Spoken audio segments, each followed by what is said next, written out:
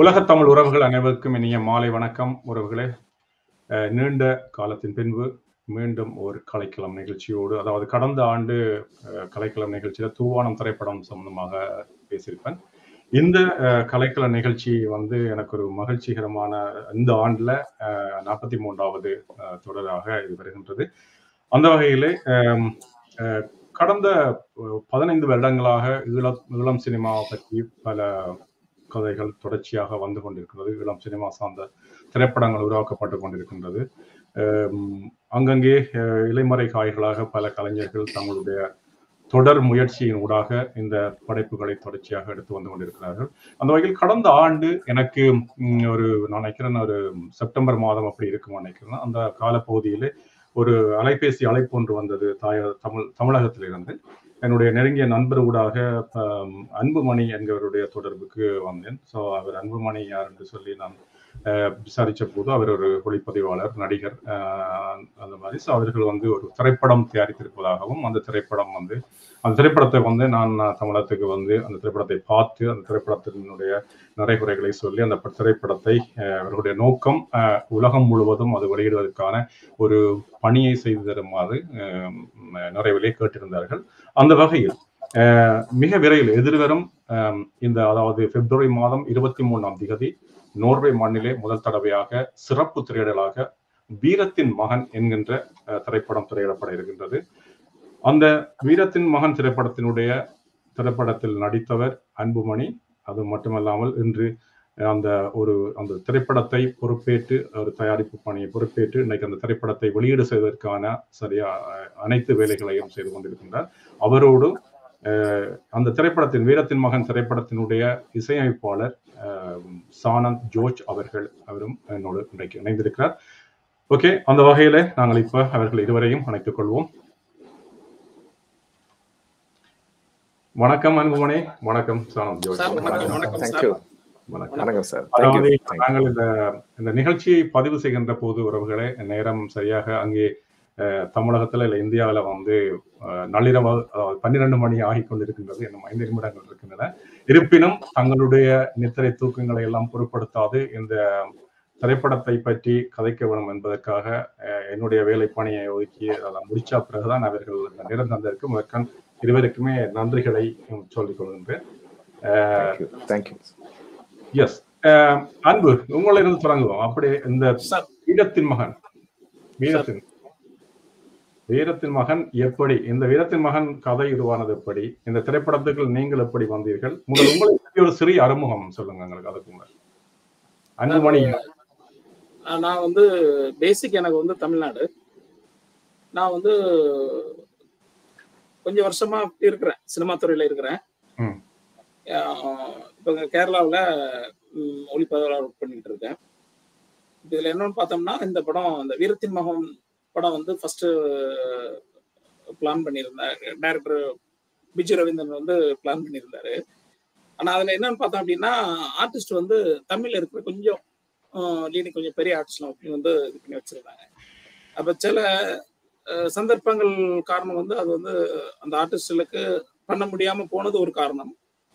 அது மட்டும் இல்லாம இந்த மாதிரி கதைகள் வந்து ஒரு ஆர்டிஸ்ட் வந்து இந்த மாதிரி கதையில வந்து பண்ணா இந்த படம் வந்து அந்த ஆர்டிஸ்டோட படமா ஆயிரும். அதனால டைரக்டர் என்ன யோசிச்சார் அப்படின்னா இல்ல அன்பு நீங்க இதுல கேமரா பண்ண வேண்டாம். நீங்க வந்து இதுல வந்து இந்த கேரக்டர் நடிச்சிருங்க. இந்த கதை வந்து ஒரு முக்கியமான கதை. முக்கியமான கதைன்னு சொன்னா எல்லாருக்குமே தெரியும் இந்த கதை என்ன அப்படின்றது. அந்த முக்கியமான கதையில இந்த கேரக்டர் வந்து நான் பண்ணியிருக்கிற ஒரு கேரக்டருங்கிறது எனக்கு ரொம்ப பெரிய ஒரு இந்த சினிமாவில் வந்து எனக்கு பெரிய ஒரு என்ட்ரி கொடுத்துருன்னு தான் சொல்லலாம். அது படம் பார்த்துட்டு வந்து மக்கள் சொல்லுவாங்க. இந்த வந்து இந்த படம் வந்து என்ன கருத்து சொல்லுது? மக்களோட வழிகளை வந்து எப்படி கடத்தி இருக்கு அப்படிங்கிறது நம்ம படத்தை நம்ம சொல்லக்கூடாது. அது மக்கள் சொல்லுவாங்க. இந்த. படம் எப்படி இருக்கு அப்படின்றது. அப்படிதான் அந்த ஒரு இது இருக்கு சார். ஓகே இந்த கதை உருவான சூழல்ல அதாவது இந்த திரைப்படம் தயாரிக்கப்பட்டது நான் அறிந்த வகையில கிட்டத்தட்ட ஒரு ஐந்து ஆறு வருடங்களுக்கு மேலாகிவிட்டது. ஆனா இப்பொழுதுதான் அந்த திரைப்படம் வெளியாக இருக்கின்றது. இவ்வளவு காலம் எடுத்ததுக்கான காரணம் என்ன? என்ன என்ன காரணம்? என்ன? சார் இதுல நீங்க நல்ல கொஸ்டின் அது இதுல என்னன்னு கேட்டீங்கன்னா சார் இந்த படம் வந்து சென்சர் கிடைக்கிறதுக்கு கொஞ்சம் நமக்கு கொஞ்சம் சிக்கலா இருந்தது. ஏன்னா இது பர்டிகுலரா ஒரு ஒரு இயக்கத்தை வந்து சப்போர்ட் பண்ணி இந்த கதை வந்து நீங்குது. ஒரு அரசாங்கத்துக்கு இந்த கதை வந்து எதிராக இருக்கு அப்படின்ற ஒரு கருத்துனால வந்து ஃபர்ஸ்ட் வந்து சென்சார் வந்து தரல. இதுல நாங்க வந்து ஃபர்ஸ்ட் இந்த டப்பிங் பண்ணியிருந்ததும் அந்த ஒரு பர்டிகுலர் ஒரு மொழியில தான் நான் டப்பிங் பண்ணியிருந்தோம். ஆனா அதுக்கும் எல்லாம் பார்த்தோம் அப்படின்னா அவங்க வந்து இல்ல நீங்க வந்து குறிப்பிட்ட ஒரு ஒரு தேசத்தை பத்தி நீங்க வந்து சொல்றீங்க ஒரு தீபை பத்தி சொல்றீங்க. அதனால உங்களுக்கு இது வந்து பண்ண முடியாது அப்படின்னு சொல்லி சொன்னோம்னா நாங்க என்ன பண்ணோம்? இந்த கதை எப்படியாவது நம்ம வெளியில கொண்டு வரணும்னு சொல்லிட்டு திரும்ப வந்து நாங்க ரிவர்ஸ் கமிட்டிக்கு போறோம். ரிவர்ஸ் கமிட்டிக்கு போய் அங்க வந்து போராடி சில விஷயங்கள் அவங்க சில விஷயங்களை மாத்த சொல்லி அப்படி டைரக்டரும் ப்ரொடியூசர்ஸ் எல்லாம் ரொம்ப வந்து போராடினாங்க இதுக்கு டைரக்டருக்கு தான் வந்து ரொம்ப நன்றி சொன்னதுக்கெல்லாம் அதுக்கப்புறம் பார்த்தோம் அப்படின்னா அப்படி போராடி இந்த வந்து ஒரு ரிவர்ஸ் கமிட்டியில சென்சர் கிடைச்சது. சென்சர் கிடைச்சி இப்போ நீண்ட நாளுக்கு அப்புறம் படம் பார்த்த எல்லாரும் சொன்னாங்க இதை வந்து நீங்க படத்தை வந்து வைக்க வேண்டாம். இது வந்து மக்கள் பார்வைக்கு நீங்க வந்து கொண்டு போயிடணும். இது வந்து வெயிட் பண்ணா நல்லா இருக்காது. இந்த வழிகள் வந்து நீங்க வந்து கடத்திடணும்.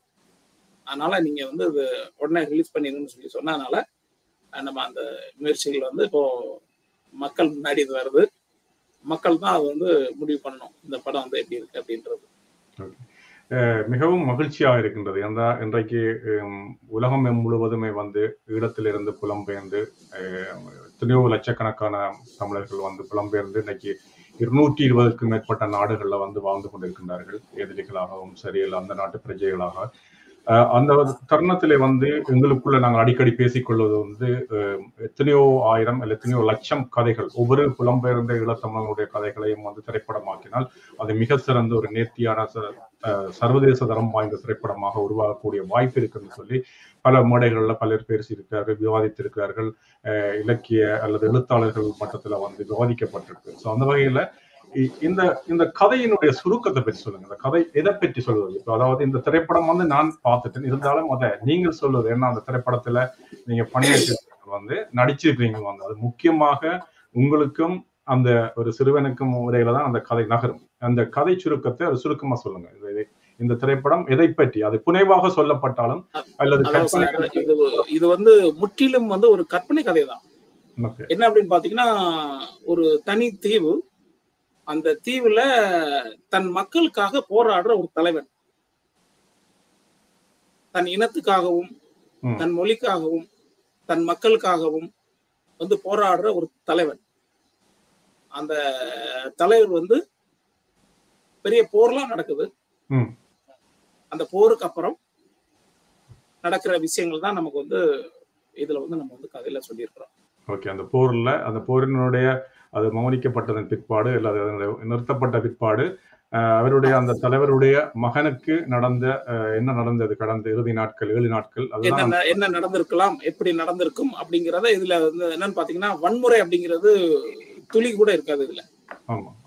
வன்முறை அப்படிங்கிறது வந்து இல்லவே இல்லை. அது வந்து இப்போ நம்ம போர் யுத்தம் அப்படிங்கும்போது பெரிய வன்முறை இருக்குன்னு வந்து எதிர்பார்த்திட கூடாது. Yeah. இதுல வந்து ஒரு மென்மையான ஒரு கவிதை மாதிரிதான் இருக்கும். இந்த படம் அப்படிங்கிறது.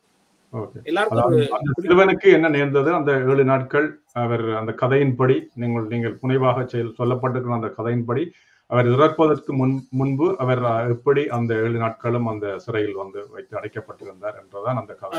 அந்த அந்த ஒரு இதுதான் நம்ம வந்து படத்துல கதையா கொண்டு வந்திருக்கோம் ஓகே.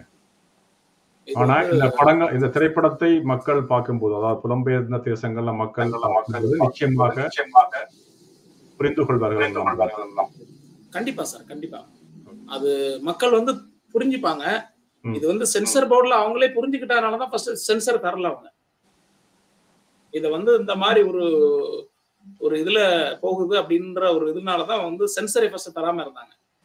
அதுக்கப்புறம் இந்த சென்சர் வாங்குறதுக்கு வந்து ரொம்ப நாங்க வந்து வந்து போராடி தான் அந்த இந்த இது வந்து வாங்கியிருக்கிறோம்.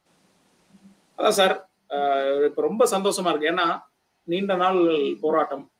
இந்த படத்தை வந்து நமக்கு மக்கள் முன்னாடி வந்து கொண்டு வந்துடணும் அப்படிங்கிறது ரொம்ப பெரிய இதா இருந்தது.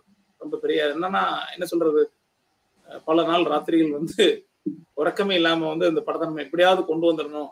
எப்படியாவது ஏன்னா அதுக்கு வந்து இப்போ நீங்க வந்து இந்த படத்தை பார்க்கல இது பண்ணல அப்படின்னா கண்டிப்பா வந்து இப்படி ஒரு இது வந்து நம்ம வந்து இந்த நேரம் நம்ம வந்து இப்படி வந்து பேசிட்டு இருக்கோம் நிச்சயமா.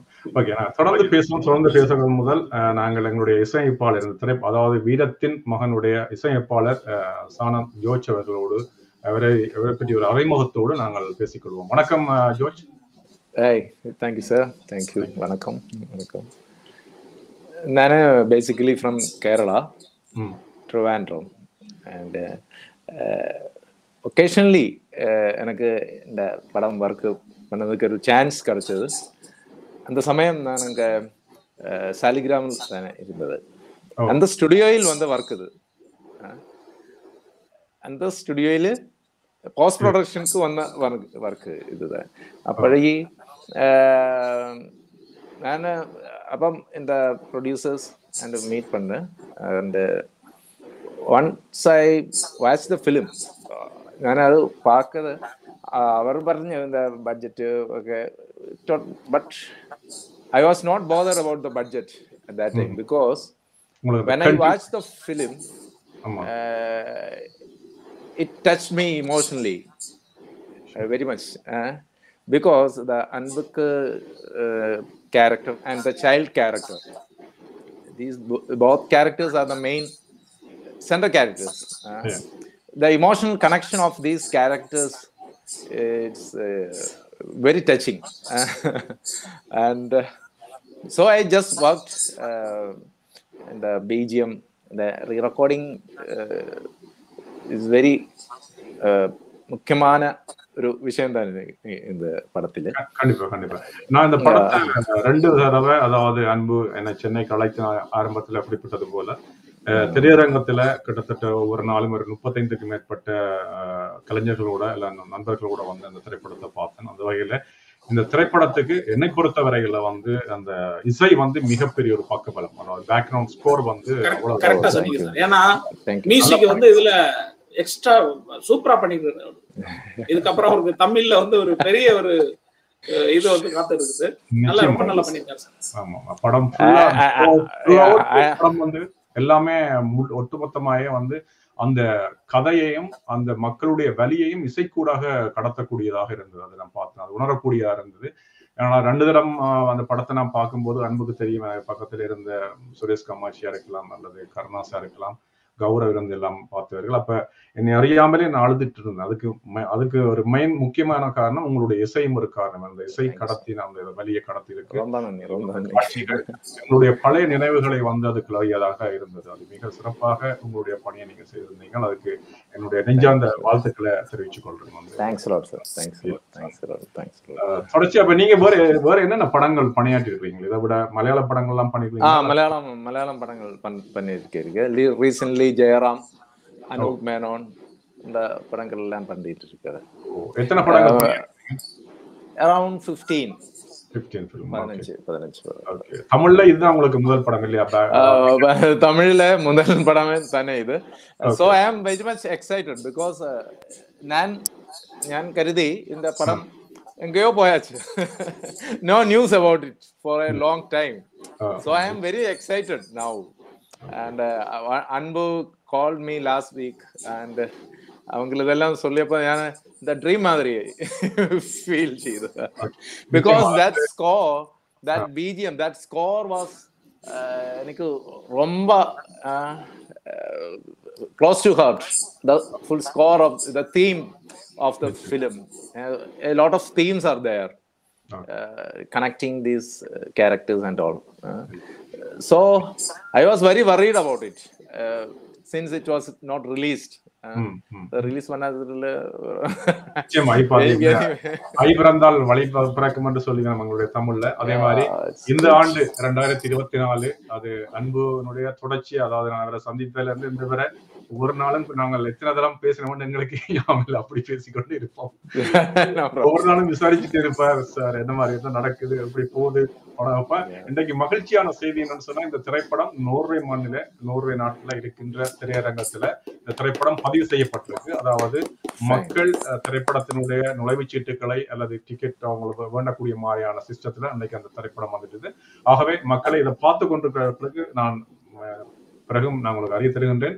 ஃபிலிம் வெப்ல போய் நீங்க வீரத்தின் மகன் என்று சொல்லி நீங்க சர்ச் பண்ணீங்கன்னு சொன்னா இருபத்தி மூணாம் திகதி சிறப்பு விசேட சிறப்பு திரையிடலாக வீரத்தின் மகன் திரைப்படம் திரையிடப்பட இருக்கின்றது. சிறப்பாக தமிழகத்துல இல்ல தாய்நாட்டுல இந்தியாவில இருந்து அன்பு மற்றும் பரஞ்சோதி ராமர் மூன்று மூன்று பேரும் வரினம். ஸோ அவங்க எல்லாருமே அவங்க ரெண்டு பேரும் பரஞ்சோதியும் அவங்களோட கூடவே இந்த படத்துல நிறைய பணி செய்திருக்காங்க. திரும்ப போஸ்ட் ப்ரொடக்ஷன் திருப்பி இந்த படத்தை சில விஷய காட்சிகள் வந்து மீண்டும் அஹ், அதாவது படத்தொகுப்பு செய்யப்பட்டிருக்கிறது வந்து ரெண்டு கிட்டத்தட்ட ரெண்டு மணித்தியாளர்களுக்கு அஹ், குறைவாமல் இந்த திரைப்படம் இருக்கின்றது. அந்த வகையில நீங்கள் ஒருவருடனும் பார்த்து நிச்சயமாக பேராதரவு கொடுக்க வேண்டிய ஒரு திரைப்படம். அன்புக்கு சரி அந்த திரைப்படத்தை இயக்கிய பிஜு ரவீந்திரனா இருக்கலாம் இல்ல அதை தயாரித்தவர்களுக்கா இருக்கலாம் வந்து அவங்க எல்லாருக்குமே ஒரு பெரிய நம்பிக்கையோட தான் அந்த திரைப்படத்தை எடுத்திருக்கிறார்கள். என்ன சொன்னா நாங்கள். இன்னைக்கு எங்களுடைய திரைப்படங்களை நாங்க உருவாக்குவதற்கு எவ்வளவு கஷ்டப்பட்டு கொண்டிருக்கிறோம் தயாரிப்பாளர்கள் இல்ல கதைகளை வச்சுக்கொண்டு யார்கிட்ட போறது இல்லாம. அப்படி இருக்கும்போது அந்த அத்தி பூத்தாட் போல எனக்கு என்ன சொல்றது ஒரு திடீர்னு வந்தது எனக்கு ஆச்சரியமா இருந்தது என்னன்னு சொன்னா இப்படி அதான் கேரள மாநிலத்தில இருந்து நம்ம கலைஞர்கள் கேரள கலைஞர்கள் வந்து சேர்ந்து கூட்டு முயற்சியாக ரெண்டு தமிழர்கள் பணியாற்றி இருக்கிறார்கள். அதுல அன்புரால் மற்ற ஸ்ரீ பாரதி என்று சொல்லி அவர் மிக அழகாக அவருடைய வசனங்களை எழுதியிருக்கிறார். வந்து அந்த ஒரு ஆமா. அந்த வசனங்கள் ஒவ்வொன்றுமே எங்களுடைய நெஞ்சை தைப்பதாகவும் இதயத்துல ரங்குவதாகவும் இது சாதாரண படம் என்று சொல்லலாம் ஏன்னு சொன்னா அது கற்பனையாக சொல்லப்பட்டிருக்கு. காலத்தின் தேவைக்கேற்ற மாதிரி அந்த திரைப்படம் தயாரிக்கப்பட்டிருக்கு. இது கேரளால இருந்து வெவ்வேறு திரைப்படங்கள் வந்திருக்கு. அரசியல் ரீதியா வந்து அதுக்கு நாங்கள் ஒத்து போகாமல் அது முரண்பட்டிருக்கின்றோம் அந்த திரைப்படங்களோடு. ஆனா இந்த படம் அதுல இருந்து சற்று வித்தியாசப்பட்டிருக்கு என்ன பொறுத்தவரையில. எப்படி அந்த மாநிலத்துல இருந்து இப்படி ஒரு படைப்பை தூண்டினாங்க எனக்கு எனக்கு வளமையான படங்கள் பிடிக்கும். சொல்லுங்க. நாங்கெல்லாம் இருக்கல சார் அதுல. ஆமா ஆமா நிச்சயமா கண்டிப்பா கண்டிப்பா. சோ அதனால இல்ல அந்த அந்த வலியை உணராமல் இந்த படத்தை அப்படி எடுக்க முடியாது. அது சார் சோ அந்த இசை அவர் பின்னணி இசை கோர்த்தல இருந்து பாக்கலையும் தெரியுதுன்னா அங்க நடந்த விஷயத்த கேள்விப்பட்டு அதை உள்வாங்காமல் அந்த வலி எங்களுக்கு தெரியும். நாங்கள் அந்த வாழ்க்கை அந்த வலியோட நாங்கள் வாழ்ந்து இதுல என்னன்னு பாத்தீங்கன்னா. இந்த படத்தோட கிளைமேக்ஸ்ல இருந்து நான் கதையில இருந்து மீண்டு வர்றதுக்கு கிட்டத்தட்ட ஒரு ஒன்றரை மாசம் ஆயிடுச்சு. நார்மல் லைஃப்ல வர்றது. ஏன்னா அந்த படம் லாஸ்ட் என்ன விஷயம்ன்றது தெரியும். ஆமா. அந்த இதுல இருந்து மீண்டு வர்றதுக்கே கிட்டத்தட்ட ஒரு மாசத்துக்கு மேல ஆயிடுச்சு எல்லாரையும் பாதிக்கும். ஒரே ஒரே ஒரு நிழற்படம் ஒரே ஒரு நிழற்படம். எப்படி அஹ், இரண்டாவது உலகப் போர்ல வந்த ஒரு சிறுமியை வந்து அம்மனமாக அந்த அணுகுண்டு போட்டு ஓடியும் போது பாதிச்சதோ அதை விட பாத பாதிச்ச இன்னொரு விஷயம். அண்மை காலங்கள்ல வந்து கடந்த பதினஞ்சு வருஷங்களுக்கு முன்னாடி இந்த சிறுவனுடைய கதை. அதை வந்து நீங்கள் இப்படி நடந்திருக்கலாம் என்று சொல்லி அந்த கற்பனைகள் எடுத்தாலும் ஆனா என்ன நடந்திருக்கும்ன்றது வந்து அதை அனுபவிச்ச எங்களுக்கு எங்களுடைய மக்களுக்கு வந்து அந்த வழியை உணர்ந்து கொள்ளக்கூடியதுதான் இருக்கும் வந்து. அது வந்து யாரா இருந்தாலும் அது எதிரியா இருந்தா கூட அவனுக்கு ஒரு பிள்ளை இருக்கேக்கல அவனுக்கு ஒரு விஷயம் நடக்கல வந்து அதை யாருமே உடைஞ்சு அதை வந்து நெகிழ்வுத்தன்மையோட உடைஞ்சு போகக்கூடிய வாய்ப்பு தான் இருக்கு அந்த என்ன அந்த வகையில இதுல முக்கியமா நான் சொல்ல வேண்டியது உறவுகளே முதல் தரம் அதாவது நான் படம் ரெண்டு தரம் பார்த்தபடியா சொல்லி வைக்கிறேன் அன்புவினுடைய நடிப்பு மிக சிறப்பாக இருந்தது. எல்லாருமே அது சொல்லவே தேவையில்லை. அதாவது இவரா அந்த அன்புன்றது எனக்கு அப்படி ஒரு ஆச்சரியமா இருந்தது. ஏன்னா படத்துல வந்து அவ்வளவு ஒரு கொடூர வில்லன் மாதிரி பயங்கர எப்படி ஒவ்வொரு- நாட்டு ராணுவம் எப்படி அந்த போர்ல இருக்குமோ அதே மாதிரியான உணர்வு அதே மாதிரியான அந்த என்ன சொல்றது அவருடைய உடல் மொழி கூட வந்து அவ்வளவு பயங்கரமா இருந்தது. வெறுப்பு வர மாதிரி தான் இருந்தது. எனக்கு முதல் ஆரம்பத்துல இது அன்புதானான்னு நம்ப முடியலன்னா அவருடைய அந்த அதுல இருக்கிற தோற்றம் அந்த தோரணை நடிக்கிற இதுகள் எல்லாமே அவ்வளவு சிறப்பா இருந்தது. அதுக்கு ஒரு நட்பு ரீதியான என்னுடைய பாராட்டுகளை தெரிவித்துக் கொள்றேன் அன்பு. சிறப்பு. அதாவது இந்த படம் முடியல வந்த பிறகு நீங்க மிகப்பெரிய அளவுல வருவீங்களா அதை நான் முதல் சொல்றேன் வந்து கண்டிப்பா. இன்னும் பல பல திரைப்படங்கள் உங்களுக்கு காத்திருக்குமான்னு நம்புறேன் வந்து. அந்த வகையில சொல்லுங்க நீங்க இப்ப இது எவ்வளவு நீங்க கிட்டத்தட்ட ரெண்டு மணி தேதியாலும் பேக்ரவுண்ட் ஸ்கோர் பண்ணுவீங்க எவ்வளவு காலம் எடுத்துக்கணும் நீங்க திரைப்படத்துக்கு பேக்ரவுண்ட் ஸ்கோர் பண்ண? ஆல்மோஸ்ட் ஒன் மந்த் எடுக்கு எடுத்துச்சு ஒன் மந்த் இந்த பிகினிங்ல நான் ஒரு டம்மி ரஃப் ஸ்கோர் பண்ணியாச்சு அஹ் அது டைரக்டரை பார்த்து அவங்க ஓகே வச்சுட்டு தென் என்னோட ஃப்ரெண்ட்ஸ் வந்துட்டு ட்ரிவாண்டத்தில் இருக்குது இந்த என்னோட மியூசிஷியன்ஸ் ஓ ஸோ நான் அங்கே போய் கேரளாவிலே வந்து ட்ரிவாண்டத்து தான் இந்த லைவ் லைவ் இன்ஸ்ட்ருமெண்ட் யா லைவ் இன்ஸ்ட்ருமெண்ட்ஸ் கோரஸ் இந்த வோக்கல்ஸ் எல்லாமே எடுத்து வச்சுட்டு பிரிச்சு അവിടെ அங்க போய் ப்ரோக்ராம் பண்ணியாச்சு ഏഹ് ഞാൻ ഇ- இந்த படம் நான்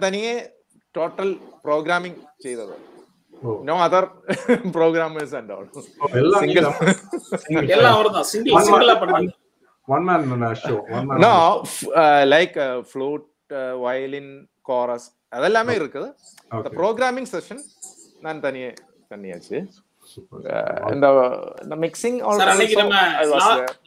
லாஸ்ட் ப்ரிவியூ பார்க்க கூட எல்லாரும் கேட்டது மியூசிக் யாரும் தானே கேட்டாங்க ஆமா ஆமா கரெக்ட் காட்ஸ் கிரேஸ் இல்ல இந்த படத்துக்கு இப்படி ஒரு நல்ல இசையமைப்பாளர் நிச்சயமா தேவை. இல்லைன்னு சொன்னா அந்த உணர்வுகளை கடத்த முடியாது. இல்லைன்னா வெறும் அந்த இசைன்றது இல்லாமல் ஒளி அந்த இசை சேர்க்கைன்றது இல்லாமல் இந்த படம் அவ்வளவுத்துக்கு என்ன சொல்றது? இப்ப எங்களை அறியாமலே நீங்க உடைஞ்சு அழுவீங்க அந்த படத்தை பார்க்கல சார் அப்படியான உணர்வு நான் என்னதான் ஒரு வேற சிந்தனை இருந்தாலும் நீங்க அந்த படத்தோடு ஒன்றி போகக்கூடிய வைச்ச விடயம் வந்து இசைதான். உங்களுடைய இசை அது மிகப்பெரிய ஒரு. அது மீண்டும். வாழ்த்துக்கள். சோ இதுல வேற அதாவது நீங்க அந்த பணியாற்றும் போது ஒரு மாசம் பணியாற்றிருக்கீங்க. அஹ், அதுல நடந்த வேற உங்களுக்கு மறக்க முடியாத சம்பவங்கள் அல்லாது இந்த படம் இசைப்பணி செய்யும் போது நடந்த விஷயங்கள் இருந்தா நீங்க சுவாரஸ்யமா அதை பகிர்ந்து கொள்ளலாம். எனக்கு அறியலையா? அது இல்ல ஏன்னா இந்த மெமோரிஸ் எல்லாம் விடுபட்டு போக கூடாது ஏன்னா இந்த இந்த படத்துக்கு பின்னால இவ்வளவு பெரிய வழி இருக்கு. இந்த படம் அதாவது அதாவது சார் இந்த லைவ் எடுக்கிற சமயம் இந்த காரஸ் இந்த காரஸ் இந்த പടത്തില് നോർമലി ഞാൻ മലയാളത്തിലോ ഒക്കെ നമ്മൾ സ്കോർ ചെയ്യുമ്പോൾ നോർമലി എന്താ ഒരു മെലഡി ലൈക്ക് ദാറ്റ് அந்த ஹம்மிங் எல்லாமே இருக்குது பட். இந்த படத்துல நீங்க கான்சென்ட்ரேட் பண்ணியா எனக்கு you will watch because lot of harmonies are there hmm, hmm. layering uh, like our Raja sir uh, oh, uh, doing. Huh? Mm. Ilaiyaraaja sir's score. We have heard a lot of such scores. Uh, a melody is there and Oh. some layers will be there. Uh, Oh. Harmony. Uh, So I did it there at uh, Trivandrum studio. Uh, and after the recording, இந்த recording முடிஞ்சதுக்கு அப்புறம் ஒரு singer அவங்களும் வந்துட்டு lady singer she she came to me and tell told me sir you will get a national award for this one i can't say this one in public that's why i'm laughing because uh, the score touched them Uh, that much. Yeah. Uh, and like that I, I, actually the score was very close to my heart uh, is- இந்த சமயம் uh, ரொம்ப happy ஆச்சு இந்த release பண்ணியாச்சு ஆமா ஆமா அது உங்களுடைய அந்த நீங்க கஷ்டப்பட்ட அந்த உங்களுடைய உழைப்புக்கான ஒரு ஒரு என்ன சொல்றது. பிரதிபலனாக இந்த திரைப்படம் உங்களுக்கு நல்ல பேரை பெற்றுக் கொடுக்கும்போதுல மாற்றுக்கிறது இல்லை. சொன்ன மாதிரி மிகப்பெரிய ஒரு பணியை நீங்க செய்திருக்கிறீங்க அந்த வகையில எங்களுடைய நன்றிகளையும் பாராட்டுகளையும் எங்களுடைய உலகத்தமிழ் மக்கள் சார்பாக நான் சொல்லிக்கிறேன் ஏன்னா எங்களுக்கு ஒரு வருஷத்துல குறைஞ்சது ஒரு ரெண்டு மூணு படம் வரதே பெரிய விஷயம். இந்த வருஷம் சிறப்பா என்னன்னா அன்புக்கும் தெரியும். ஏழு படங்கள் எங்களுடைய ஈழத்தமிழ் மக்களுடைய அந்த என்ன சொல்ற இலங்கையில பிறந்து வளர்ந்து அங்கிருந்து புலம்பெயர்ந்த மக்களுடைய கதைகள் வந்து ஏழு திரைப்படங்கள் வர இருக்கிறது. இந்த ரெண்டாயிரத்தி இருபத்தி நாலுல அப்படி முதல் திரைப்படமாக நோர்வே மண்ணில இன்னும் ஒரு- அது இருபத்தி மூணாம் தேதி வீரத்தின் மகன் வழியாக இருக்கின்றது என்பது மிகவும் மகிழ்ச்சியான செய்தி. சோ அதைத்தான் நான் சொல்லிக்கொள்ள ஆசைப்படுற உறவுகளை பார்த்து கொண்டிருக்கிறார்கள் எல்லாருக்குமே. என்னென்னு சொன்னா எல்லாருக்குமே எங்களுடைய கதைகளை சொல்லணும் எங்கிற கதைகளை பிள்ளைகளுக்கு அடுத்த தலைமுறைக்கு வந்து எங்கிற கதைகளை சொல்லி வைக்கணும் என்பதற்காக இந்த திரைப்படம் அந்த வேலையை சரியான முறையில் செய்யும் என்பது என்னுடைய நம்பிக்கை. சரி அன்பு இப்ப அன்போட பேசுவோம் நாங்க. அன்பு நீங்க. சொல்லுங்க. இப்ப உங்களோட நீங்க பட படத்தினுடைய கதை சுருக்கத்தை பத்தி சொல்லிட்டீங்க. இந்த படத்துல திரைப்படத்துல நடிக்கும் போது உங்களுக்கு ஏற்பட்ட அனுபவம்? அதை பற்றி சொல்லுங்க. சார் நடிக்கும் போது ஏற்பட்ட அனுபவம் சொன்னா இதுல வந்து. இது நான் சில விஷயங்கள் வந்து நான் உள்வாங்கி தான் பண்ணியிருக்கிறேன். அழுகிற சீன்லாம் வந்தா வந்து அதுல நானே என்னை பத்தி சொல்லிக்க கூடாது. கிளிசரின் வந்து போடாமலே சில சீன் பண்ணிடுறேன் ஏன்னா அந்த விஷயம் வந்து நம்ம மனசை வந்து அவ்வளவு அவ்வளவுத்துக்கு பாதிச்ச ஒரு விஷயம் அப்படின்றதுனால. அதுக்கு வந்து நமக்கு கிளிசரின் வந்து தேவைப்படல அந்த மாதிரிலாம் பண்ணியிருக்கோம் சார் என்ன என்ன சொல்ல சில சீன்ஸ் எல்லாம் எடுக்கும்போது. நம்ம லொகேஷன்ல வந்து இது ஷூட்டிங் தானா அப்படின்றது நம்மளே வந்து மெய் மறந்துடுவோம் ஏன்னா நம்ம நிறைய லொகேஷன் நிறைய இதெல்லாம் நம்ம பார்த்து இருந்தால் கூட. இந்த விஷயம் இந்த ஒரு ஒரு சீன்ஸ்கள் போகும்போது பாத்தீங்கன்னா நம்ம மனசு வந்து என்ன சொல்ல அப்படி நம்மள அறியாமலே ஒரு அப்படியே ஒரு என்ன சொல்ல அது அது என்ன சொல்றதுன்னே தெரியல. இந்த கிளைமேக்ஸ் காட்சிகள்லாம் பார்த்துட்டா அந்த அதுக்கப்புறம் அப்படியே ஒண்ணுமே புரியல எனக்கு. அந்த ஷாட்டு முடிஞ்சது. முடிஞ்ச அப்படியே வண்டியில ஏறி யார்கிட்டயும் ஒன்றும் பேசாம அப்படி நான் போயிட்டேன். ஏன்னா அது அதோட வழிகள் வந்து அவ்வளவு தூரம் அதை நான் வந்து சொல்ல முடியாது. படம் பார்க்கும்போது வந்து மக்களுக்கு வந்து அது புரியும். அதனால அது வந்து நம்மளே வந்து நம்மளை பத்தி yes. சொல்லும்போது அது வந்து இதாகாது மக்கள் வந்து படம் பார்த்துட்டு வந்து அதை சொல்லட்டும் அதான். சோ இப்ப நீங்க இயக்குனரை பற்றி என்ன இப்ப நீங்க இதுல நடிச்சிருக்கீங்க மற்ற ஒளிப்பதிவு ரீதியாக உங்களுடைய உதவி இந்த திரைப்படத்துக்கு சரி. இயக்குனர் அப்படின்னு சொல்லி சொன்னா அவர் வந்து ஒரு பயங்கரமான அதான் சார் தமிழ் சினிமாவுல வந்து நம்ம எத்தனையோ இயக்குனர்கள் வந்து இந்த மாதிரி ஒரு கருத்துக்கள் சொல்லக்கூடிய இயக்குனர்கள் நிறைய இருக்கிறாங்க ஆனா வந்து அவங்களுக்கு வந்து யாருக்கும் வந்து இந்த ஒரு விஷயத்தை வந்து யோசிக்க முடியல பாருங்க. எனக்கு அது வந்து ஒரு இதா இருக்கு. நம் தமிழ் இனத்துல வந்து இந்த மாதிரி ஒரு விஷயம் இருக்கு. இந்த விஷயத்தை வந்து நம்ம எடுத்து வந்து சொல்லலாம். இல்லைன்னா இந்த இது எடுத்து வைக்கலாம் அப்படின்ற ஒரு இது வந்து யாருமே வரல. ஆனா இவர் நம்ம பிஜு சார் வந்து அவர் வந்து பண்ணியிருக்கிறார். அவரோட முந்தைய படங்கள்லாம் வந்து நான் கேமரா பண்ணியிருக்கிறேன். ஆக்சுவலி என்ன வந்து இந்த படம் ஷூட்டிங் தொடங்குறதுக்கு ஒரு அஞ்சு நாளுக்கு முன்னாடி வரை நான் கேமராமேன் தான். ஏன்னா நான் கேமராமேனா அதோட ஸ்கிரிப்ட் வாசிச்சாச்சு இதோட சீன்ஸு லொக்கேஷன் செட்டு இது எல்லாம் நம்ம வந்து எல்லாம் இது பண்ணியாச்சு. அப்புறம் அஞ்சாவது நாளுக்கு அப்புறம் தான் சொல்றாரு அன்புக்கு வா நீ போய் முடியலாம் வெட்டிட்டு வா உன்னோட கெட்டப் நாங்க என்ன என்ன சார் அப்படின்னு. இல்லப்பா இதுல அந்த இது நீ தான் பண்ற. என்ன சார் அப்படின்னு.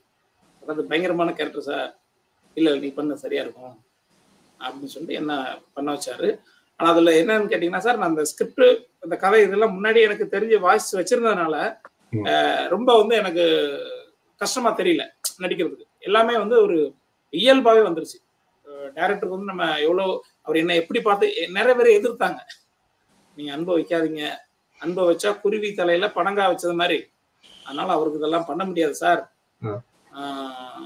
வந்து நீங்க அவருக்கு கொடுக்காதீங்க. இப்ப படமே இதாயிருன்றது நான் அப்படி வந்து அவர் தைரியமா வச்சாரு. தைரியமா வச்சுட்டு இந்த படத்தை பார்த்துட்டு படத்தோட ப்ரொடியூசர் அனில் சார் அவர் வந்து கல்ஃப்ல வெளியில இருந்தாரு. அவர் படம் ஃபர்ஸ்ட் பிரிண்ட் பாத்துட்டாரு. பார்த்துட்டு என்ன கேக்குறாரு அவர்? இந்த சரவணன் கேரக்டர் பண்ண ஆளு யாரு அப்படின்னா இவர் அன்புமணிங்க. இவர் தான் அந்த கேமராமேன் நல்லா பண்ணியிருக்காரு. அவர் எனக்கு பார்க்கணுமே அப்படின்றாரு. ஆனா கிட்டத்தட்ட அவர் சொல்லி அப்படியே போய்கிட்டே இருக்கு போய்கிட்டே இருக்கு போய்கிட்டே இருக்கு. எங்க ரெண்டு பேருக்குள்ள பார்க்கவே முடியல. கடைசியில நாங்க பாக்குறோம். அவரு ஒன்பதாவது ஃப்ளோர்ல இருக்கிறாரு நான் ஏழாவது ஃப்ளோர்ல இருக்கோம் ஒரே ஃபிளாட்ல. அப்புறம் தான் தெரிய வருது. அப்புறம் ரெண்டு பேருக்கும் பயங்கர எக்ஸைட்டிங் ஆயிடுச்சு. அப்படி சொன்னார் ரொம்ப நல்லா பண்ணிருக்கீங்க அன்பு. ஃபர்ஸ்ட் உங்களுக்கு வந்து நிறைய எதிர்ப்புகள் இருந்தாலும் அந்த கேரக்டர் நீங்க பண்ணும்போது அது இப்போ வந்து வேற யாருமே அந்த கேரக்டரை வந்து பார்க்க நமக்கு வந்து முடியல. ஃபர்ஸ்ட்லாம் பெரிய ஹீரோலாம் சொல்லியிருந்தாங்க. பெரிய அவ- அவரும் அதான் சொன்னார். பெரிய ஹீரோ வச்சிருந்தோம்னா நமக்கு வந்து அந்த ஹீரோ படமா போயிடும் இப்போ வந்து இந்த அந்த ஹீரோவோட படமா தான் அது வந்து வெளியில தெரிய வரும். நம்ம சொல்ல வர்ற விஷயம் வந்து வேற. ஏன்னா சார் தமிழ் ப்ரொடியூசர்ஸே. வந்து கதையில வந்து பயங்கரமான பிசினஸ் ஆகுற படத்தை தான் வந்து அவங்க வந்து எடுப்பாங்க. பிசினஸ்னா அவங்க வந்து காசு இப்போ ஒரு பத்து மடங்கு போட்டோம்னா ஒரு இருபது மடங்கு இருபத்தஞ்சு மடங்கு முப்பது மடங்கு அவங்களுக்கு வந்து திருப்பி கிடைக்கணும். ஆனா இவங்கள பாத்தீங்கன்னா இதுல காசு வருதா இல்லையா என்னன்றதே தெரியாது. ஆனா இந்த வழிகள் இந்த உணர்வை வந்து கடத்தணும். மக்கள் வந்து இதை தெரிஞ்சுக்கணுன்ற ஒரே காரணத்துக்காக டைரக்டர் வந்து அவ்வளோ வந்து இது பண்ணாரு. இதுக்கு வந்து பாத்தீங்கன்னா ஸ்ரீபாரதின்னு சொல்லி இருக்கிறாரு. ஸ்ரீபாரதி அசோசியேட் டைரக்டர் அவ்வளவுதான் வந்து டைலாக்ஸ்லாம் வந்து அவர் தான் ரொம்ப ரொம்ப நல்லா பண்ணியிருந்தாரு அவர். நல்லா எல்லாம் எல்லாம் நல்லா பண்ணிருக்காங்க சார் மொத்தம். அந்த வசனங்கள் எல்லாமே வந்து அது என்ன சொல்றது திரை திரைப்படத்துக்காக புனையப்பட்டது மாதிரியே இல்ல. இயல்பா வந்து எப்படி வசனங்கள் எல்- எல்லாமே மக்கள் எப்படி பேசுவாங்களோ அதே மாதிரியே இருந்தது. எனக்கு அதான் ஆச்சரியமா இருந்தது. ஆமா சார் எல்லாமே நல்ல நல்லா அமைஞ்சிருச்சு. இதுக்குள்ள இதுல நடிச்சிருக்கிற ஆர்டிஸ்ட பாத்தீங்கன்னா எல்லாருமே யதார்த்தமா தான் இருக்கும். இதுக்குள்ள நம்ம ஒரு ஆர்டிஸ்ட போட்டிருந்தோம்னா இது வந்து ஒரு சினிமா ஆயிருக்கும். ஒரு லைஃப் வந்து தெரிஞ்சிருக்காது இதுக்குள்ள ஒரு நல்ல மியூசிக் கிடைச்சிருச்சு. நல்ல கேமரா கிடைச்சிருச்சு நல்ல ஆர்ட் கிடைச்சிருச்சு இதுல. எல்லாமே வந்து பாத்தீங்கன்னா நமக்கு வந்து லொகேஷன்ஸும் வந்து அதாவது நீங்க படப்பிடிப்பு செய்த தளங்களும் வந்து அந்த இடங்களும் வந்து கூடுதலா நம்ம இது வந்து ஞாபகப்படுத்துது. ஆமா ஆமா சார். அந்த அந்த மாதிரி வந்து இதுதான் நாங்க வந்து இது பண்ணியிருந்தோம் செலக்ட் பண்ணியிருந்தது எல்லாமே நீங்க வந்து பாத்தீங்கன்னா அவ்வளவு பர்ஃபெக்டா இருக்கும். இப்ப நம்ம பெரிய ஆர்டிஸ்ட்கள் படம் பண்ணும்போது கூட. சின்ன சின்ன தவறுகள் நடக்கும். ஆனா நம்ம இந்த இதுலயும் பெருசா ஒண்ணும் வராம ஒரு ஓரளவுக்கு நம்ம வந்து இது பண்ணி கொண்டு போயிருக்கிறோம். ஆனா வந்து அது படம் பார்த்ததுல எல்லாருமே பாராட்டினாங்க. எல்லாருக்குமே அதாவது இந்த இதுல இருக்கிற ஒரு ஒரு துறையிலும் அவங்க வந்து எல்லாருமே நல்லா பண்ணியிருக்கிறாங்க. நல்ல பண்ணிக்க கண்டிப்பா. நம்ம படத்தை நம்ம சொல்லக்கூடாது. நம்மளே நம்மளுக்கு வந்து எனக்கு என்ன ஒரு விஷயம் நான் முக்கியம் அதில் குறிப்பிடணும்னு சொன்னா அதாவது எங்களுடைய கதைகளை எடுப்பதற்கு இப்ப அதாவது எங்களுடைய வழிகளை நியாயத்தோடு எந்தவித ஒளிவு மறைவுமின்றி ஒரு தர்மத்தோடு அறத்தோடு சொல்லக்கூடிய இயக்குனர்கள் கேரள மாநிலத்துல இருக்கிறார்கள்ன்றது வந்து எங்களுக்கு சரியான சந்தோஷமா இருக்கு. என்னன்னு சொன்னா நல்ல திரைக்கதை ஸ்கிரீன் ரைட் ஸ்கிரீன் பிளேல வந்து சரியான கட்டிக்கார எனக்கு மலையாள படம் நல்லா பிடிக்கும். என்னன்னு சொன்னா அதுதான் அது அந்த மாநிலம் அந்த தேசத்தினுடைய அடையாளங்களோடு பண்பாட்டு வடிவங்களோடு கலாச்சாரத்தோடு வந்து சொல்லப்படுகிற படங்கள் வந்து அதற்கு அது கேரளா படம்னு சொன்னா மலையாள படம்னா அது எல்லாருமே விரும்பி பார்ப்பாங்க. ஏன்னா அதுக்குள்ள அப்படி ஒரு நல்ல கதை இருக்கு. ரம்மியமான இடங்களோட வந்து கதை நகர்த்தல்ல இருந்து நிறைய படங்கள் உதாரணத்துக்கு சொல்லலாம். இப்ப தமிழ் சினிமா வந்து கமர்ஷியல் என்ற பாதையில வேற மாதிரி போய் கொண்டிருக்கு. ஆனா எங்களுடைய கதையை அதை கமர்ஷியல் தன்மை இல்லாமல் யதார்த்தமா வந்து இந்த திரைப்படம் சொல்லியிருக்கு அதான் அதனுடைய வெற்றியா நான் பாக்குறேன் இந்த திரைப்படம் வந்து கண்டிப்பா கண்டிப்பா. சார். வலிக வந்து சரியாக நேர்மத்தன்மையோடு கடத்தணும்னு அந்த இயக்குனரும் அந்த அனைத்து கலைஞர்களுமே யோசிச்சிருக்கிறோம் அதுதான் இப்ப அதி மிகைப்படுத்தல் இல்லை. இந்த படத்துல நான் இன்னொரு விஷயம் கவனிச்சது. இப்ப எங்கள்கிட்ட கதை எடுத்தா சில வேளையில ராணுவமோ அல்லது அந்த அவங்களுடைய செயற்பாடுகள் வந்து அல்லது ஆக்கள் பேசுகிற மொழி வந்து கொஞ்சம் வேற மாதிரி இருக்கு. ஆனா இயல்பா நம்ம மக்கள்கிட்ட வாழ்க்கைக்குள்ள இருந்து எப்படி கதை எடுத்ததை பண்ண முடியுமோ அந்த மாதிரி தான் அந்த படத்தை செய்யப்பட்டிருக்கு. அதால வந்து அந்த படத்தோட ஒன்றி போகக்கூடிய இருக்கு அதை நான் என்ன அறியாமலே இலகுவா அழுகிற ஆள் இல்லை நான் வந்து. அந்த. கதை எங்களுக்கு தெரிஞ்சபடியே உங்களுக்கே தெரியும். அன்பு நீங்க நேர பார்த்து நீங்க வந்து. அது படம் முடிஞ்சு நீங்க சொன்ன மாதிரி ஒரு அரை மணத்தியாலும் ஒரு மணத்தியாலும் ஒரு தடவையும் பேச முடியாது. ராத்திரி ராத்- ராத்திரி ரெண்டு மணிக்கெல்லாம் நீங்க இருந்து அழுதீங்களா சார். ஆமா. தேம்பி தேம்பி அழுதீங்களா. ஆமா. சிலர் என்னன்னா படம் பார்த்துட்டு படம் கிளைமேக்ஸ் முடியுது தேட்டர் விட்டு வெளியில வர மாட்டேன்றாங்க சார் அவங்களுக்கு வந்து சொல்றதுக்கு வந்து வார்த்தைகள் வர மாட்டேங்குது என்ன சொல்லணும்னு தெரியல. இப்ப நம்ம ஃபர்ஸ்ட் எல்லாம் பிரிவு பார்க்கும்போது ஒன்று பெரிய டேரக்டர்ல இருந்து படம் பார்த்தாங்க. நான் டேரக்டரோட பேர் சொல்ல விரும்பல. அப்படி உட்காந்துட்டாங்க தேட்டருக்குள்ள அப்படி இருந்துட்டாங்க. அவங்க படம் முடிஞ்சு ஸ்கிரீன்ல என் டைட்டில் போயிட்டு இருக்குது இவங்க அப்படியே எந்திக்க மாட்டேன்றாங்க. என்னடா இப்படி பண்ணி வச்சிருக்காங்க? என்ன என்னப்பா அப்படின்றது அப்படி இருக்கிறாரு. என்னன்னா அது அந்த மாதிரி ஒரு என்ன சொல்ற சார் அது? It was சொல்லும் போது feeling. எனக்கே ஃபீல் ஆகுது. நிச்சயமா. அதாவது மிகவும் ஒரு சிறப்பான என்ன சொல்றது நல்ல பணியை நீங்க எல்லாம் ரெண்டு பேருமே அல்ல உங்களோட சேர்ந்து அனைத்து கலைஞர்களுமே செய்திருக்கிறீர்கள். காலம் கடந்தாலும் அது கண்டு சொல்ல டைம் பெருமான்னு சொல்லுவாங்க ஒரு நேரம் பெருமான்னு சொல்லுவாங்க. ஆனா சரியான தருணத்துல இன்னைக்கு உலகம் இருக்கின்ற சூழல்ல இன்னைக்கு போர் நடந்துட்டு உங்களுக்கு ஏற்கனவே தெரியும் வந்து இப்போ இஸ்ரேலியா இருக்கலாம் பலஸ்தீனத்துல வந்து நடந்துட்டு இருக்கிற தருணத்துல. அந்த வழிகளோட அதை வந்து நீங்க புனைவ வந்து அந்த படம் கற்பனை என்று சொல்லப்பட்டாலும் அது கற்பனை அல்ல என்று அதை பார்க்கின்ற எங்களுடைய மக்கள் அனைவருமே புரிந்து கொள்வார்கள்.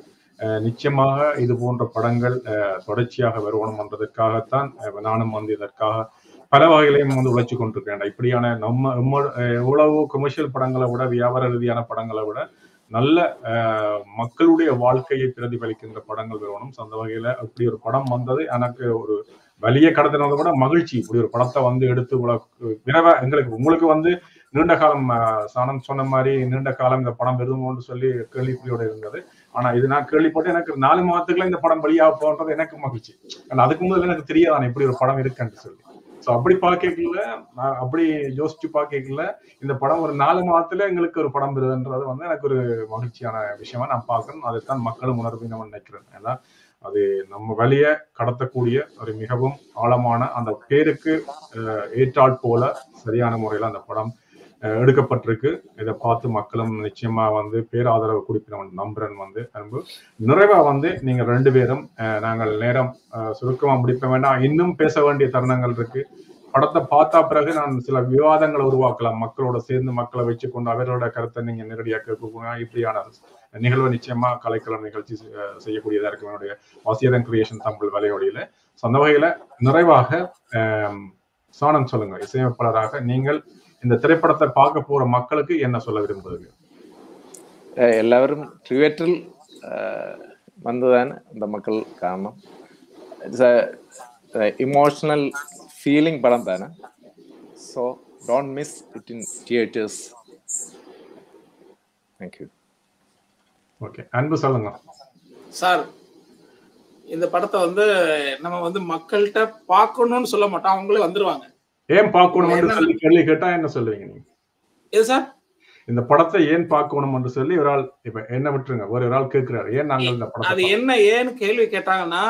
அதுக்கு பதில் வந்து அதுல இருக்குது. படத்தோட டைட்டில் தான் அதுக்கு பதில். வீரத்தின் மகன். அந்த. டைட்டில் வந்து உள்ள கொண்டு வந்துரும். நம்ம வந்து வாங்கன்னு சொல்ல மாட்டோம். வந்துருவாங்க உள்ளே வந்துருவாங்க.